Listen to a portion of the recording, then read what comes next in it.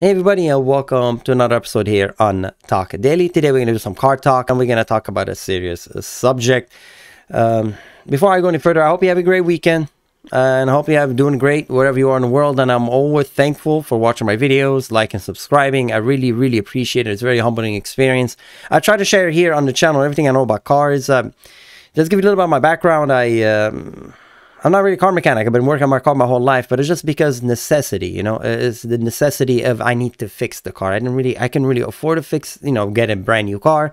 I have to repair what I had just to get along with life, you know, go to school, get groceries, and go on and, you know, living your life. Because in Southern California, without a vehicle, can you take public transportation? Absolutely, but it's just really not efficient, and time is the, essence. You know, when you have a job and you have school and whatnot. So that's my background. Where I had so many cars, uh, and I try to share some of my knowledge here on the channel. So I digress.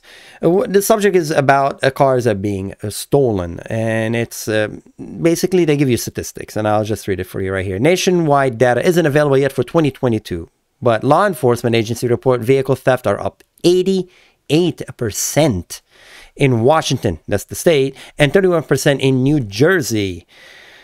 And that's pretty high. 88% in Washington? That's shocking. What I mean, that's insane. The National Insurance Crime Bureau, that's the NICB, report that full-size trucks from Ford and Chevy are the most stolen vehicles in 2020.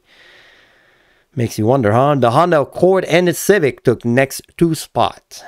So I'm very familiar with that. I'm from Southern California, and I, I already know that, you know, the Hondas.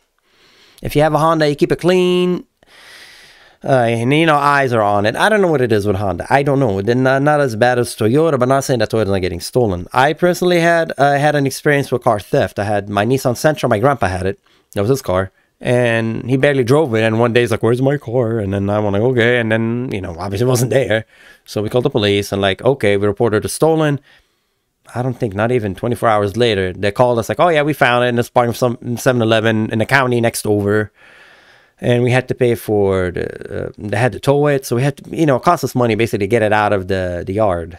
Uh, anyway, so it was very inconvenient, very annoying. I took it for a joyride. I think they broke the, the window, uh, one of the small windows in the back to get in. I don't know if you know, like the, the quarter panel window in the passenger area that broke it to get in there. Something I don't know why they broke it to get in there, or maybe they, I don't know why that part was broken. Anyway, that glass was broken because the glass was inside the car, so force from the outside toward in the inside they broke it.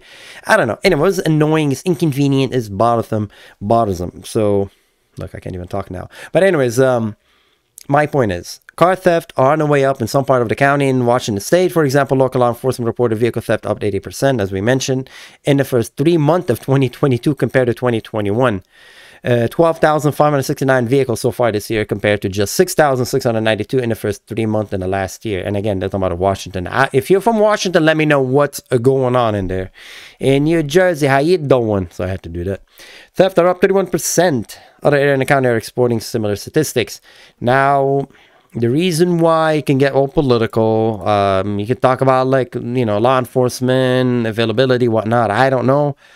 Um, but increase uh, are part of the year-long trend according to National Insurance Crime Bureau, which note that nationwide car theft are up 16.5% in 2021 relative to 2019 figures, although that falls to approximate 5% increase in theft relative to 2020 figure.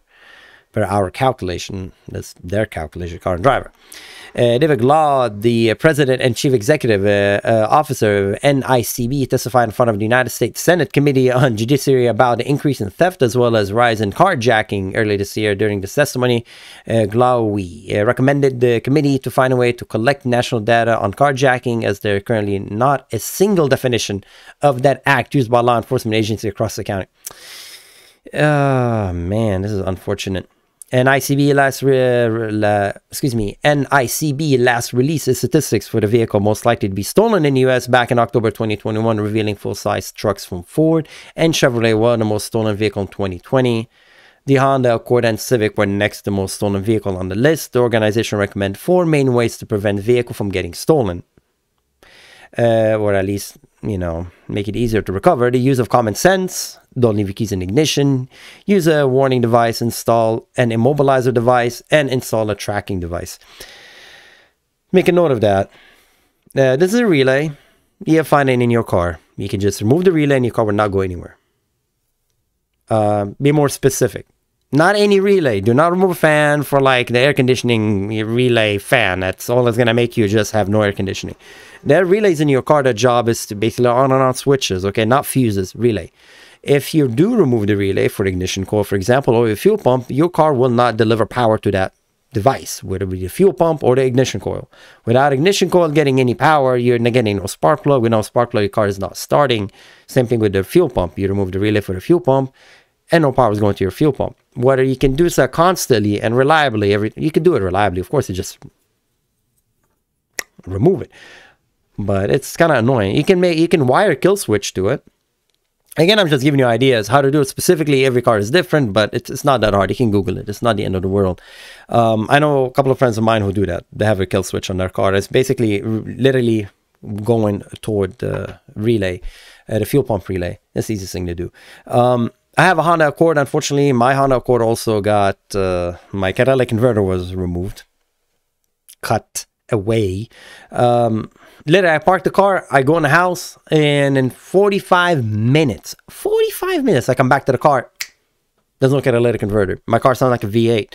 Oh man, that was awful. So, uh, you know, it, it is what it is. Uh, crime is going to be there, but I'm just shocked that Washington has that high percentage. I don't know what's going on in Washington. I know it's very liberal. That's all I know about Washington. I want to go into politics because um, I'm old school, man. I'm old school. I, I, mm, I don't know what's going on, but uh, I don't want to keep putting a picture of the poor guy. He's just an actor. Uh, and as far as using crowbar to get into your car, I don't think so. They're probably using. I don't. I don't want to talk about how to get into your car. I have some ideas of how, but I don't want to share that with anybody. Uh, if you know, keep it to yourself. Um, I just hate it. A, a, car. You need a car. We need a car to get to from point A to B to go to work. And when somebody takes away your car, it's just like, really, man? Like, really, really? I, I, I truly hate it because I love cars too. So it makes you know it's it's really really violate. It's like if someone violated your house. You know, went to your house and I took something from it. It's just I hate it. Uh, when my catalytic converter was stolen, I was just like, dude, like you know you. Uh, what were you doing? You know, like for what? Yeah, I know that's platinum. I mean, I, I bet, I guarantee you, the idiot who stole my catalytic converter, who or she, I don't know, who took the catalytic converter, don't even understand what a platinum element is, and he has no concept of what platinum is. He just knows it's money. I want to get my $20 for, I don't know. Um, anyway, so um, yeah, my condolences if you're a victim of a crime, if a car theft or any kind of crime. Yeah, my condolences, and I feel your pain. It suck. It it truly suck, and um, uh, I feel bad uh, for everybody up there in Washington. 88% uh, theft. Um, honestly, uh, I, will give you that tip. If you're in Washington and you're having that issue, that relay is really not that hard. You can Google it. There's relays for the fuel pump. Without it, the car is not going to start. Now, what are they going to take it on a flatbed? What do they have extra relays hanging around? That's kind of crazy. That's a very determined theft guy. I think most of the theft is uh, opportunistic, in my opinion. Um, but it's just really unfortunate. And um, hopefully it goes down. Uh, if you have an experience with that, let us know in the comments below. If you know why is going up, why Washington specifically 88%, it just sounds really crazy. Uh, let us also know in the comments below. And as always, uh, thank you for watching. As always, stay safe out there. And thank you, thank you for watching all these videos. I really appreciate it. Let me know what you think in the comments below, as always. And have a great rest of your weekend. And I'll see you next time. Take care. Well, that'll be tomorrow. Take care. Bye bye.